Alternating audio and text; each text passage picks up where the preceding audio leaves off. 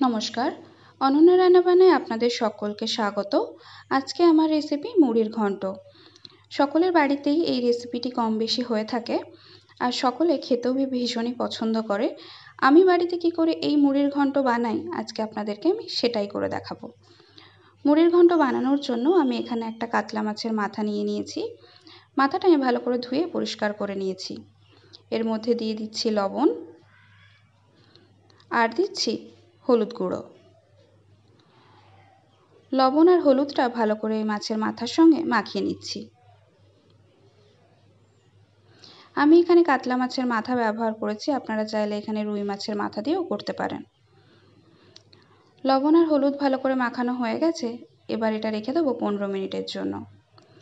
নিয়ে নিচ্ছি আলু আর নিচ্ছি গোবিন্দভোগ চাল।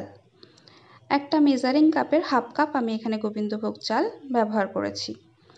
চালগুলো আমি ভালো করে ধুয়ে জলটা শুকিয়ে নিয়েছি। দেখতেই পাচ্ছেন চালটা কীরকম ঝরঝরে হয়েছে। আলুগুলো আমি ডুমো ডুমো করে কেটে নিয়েছি। এবার একটা গ্যাসের মধ্যে একটা কড়াই বসিয়ে দিয়েছি। গ্যাসটা অন করে দিলাম। এবার কড়াইয়ের মধ্যে দিয়ে দিচ্ছি দুই টেবিল চামচ ঘি।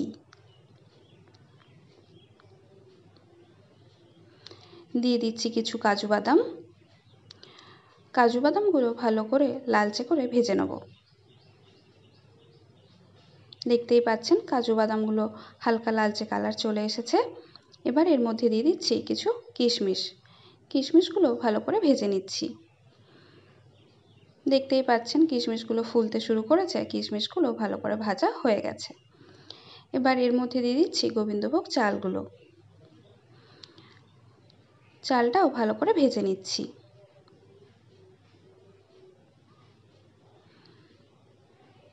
দেখতেই পাচ্ছেন, চালের কালারও ধীরে ধীরে চেঞ্জ হয়ে গেছে আর চালের থেকে একটা ফট ফট আওয়াজও পাওয়া যাচ্ছে।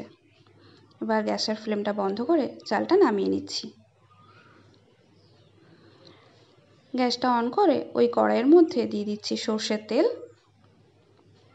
তেল গরম হলে ওর মধ্যে দিয়ে দিচ্ছি কেটে রাখা আলু।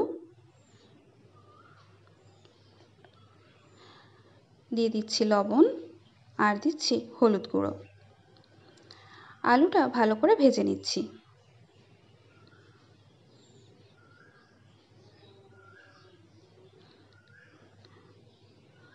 দেখতেই পাচ্ছেন, আলুটা লালচে কালার চলে এসেছে, আলুটা ভালো করে ভাজাও হয়ে গেছে। এবার এটা তুলে নিচ্ছি। আলুটা আমি এখানে এইটটি পারসেন্টের মতো সেদ্ধও করে নিয়েছি।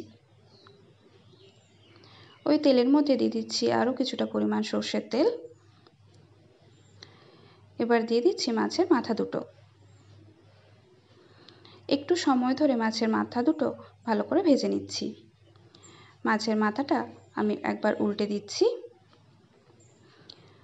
মাছের মাথা ভাজা হতে হতে আমি একটা মশলার পেস্ট বানিয়ে নিই।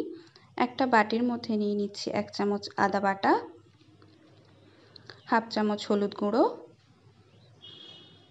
এক চামচ জিরের গুঁড়ো। দিয়ে দিচ্ছি সামান্য পরিমাণ জল আর দিচ্ছি হাফ চামচ লঙ্কার গুঁড়ো। লঙ্কাটা অবশ্যই আপনারা আপনাদের স্বাদ মতো ব্যবহার করবেন। এইদিকে মাছের মাথাটাও ভালো করে ভাজা হয়ে গেছে। এবার মাছের মাথাটা তুলে নেব।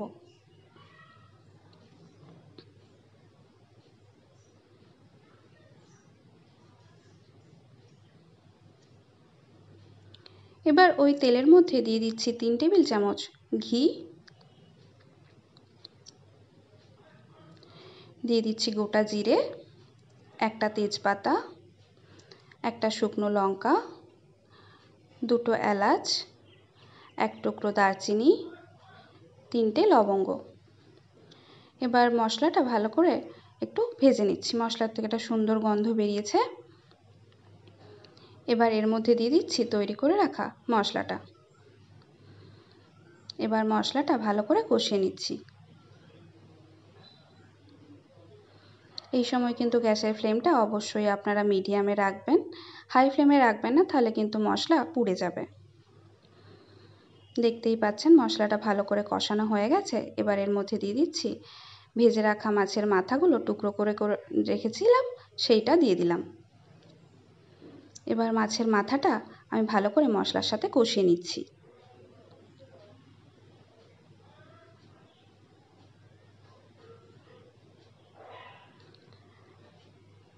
মাছের মাথাটা ভালো করে মশলার সাথে কষানো হয়ে গেছে। এবার এর মধ্যে দিয়ে দিলাম ভেজে রাখা চালটা।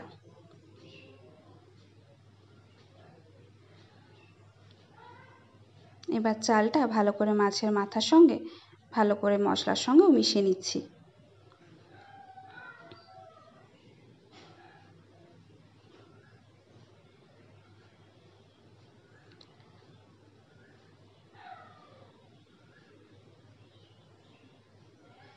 ভালো করে মেশানো হয়ে গেছে, এবার এর মধ্যে দিয়ে দিচ্ছি ভেজে রাখা আলু।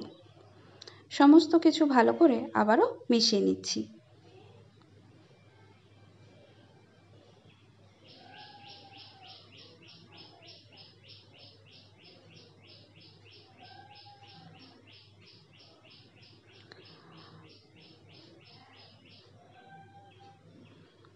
সমস্ত কিছু ভালো করে মিশিয়ে নিয়েছি। এবার এর মধ্যে দিয়ে দিচ্ছি গরম জল। আমি যেই কাপ মেপে চাল নিয়েছিলাম, সেই কাপের আড়াই কাপ আমি জল গরম করে রেখেছিলাম, সেই জলটাই আমি দিয়ে দিলাম। সমস্ত কিছু ভালো করে মেশানো হয়ে গেছে। এবার এর মধ্যে দিয়ে দিলাম লবণ। লবণটা আপনারা আপনাদের স্বাদ মতো ব্যবহার করবেন। এবার এটা ফুটিয়ে নেব। দেখতেই পাচ্ছেন, ফুটতে শুরু করেছে। এবার এটা ঢাকা দিয়ে পাঁচ সাত মিনিট হতে দেবো। গ্যাসের ফ্লেমটা আমি মিডিয়ামে করে দিয়েছি। দেখতেই পাচ্ছেন, আর একটু জল রয়েছে, আর একটু কিছুক্ষণ হবে। এবার এটা একটু নাড়াচাড়া করে দিচ্ছি।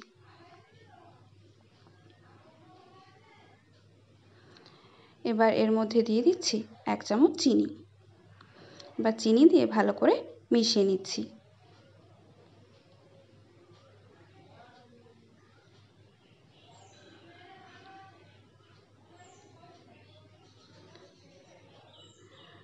ভালো করে মেশানো হয়ে গেছে।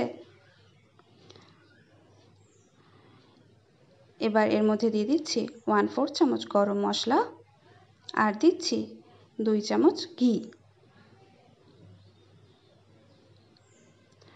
সমস্ত কিছু ভালো করে আবারও মিশিয়ে দিচ্ছি।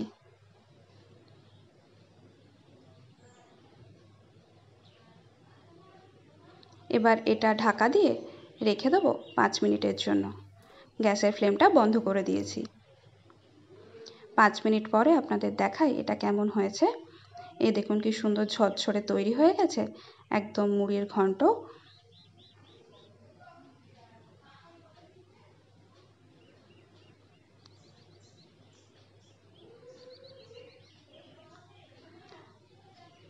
দেখতেই পাচ্ছেন, সুন্দরভাবে তৈরি হয়ে গেছে একদম মুড়ির ঘন্ট। এবার এটা পরিবেশন করব।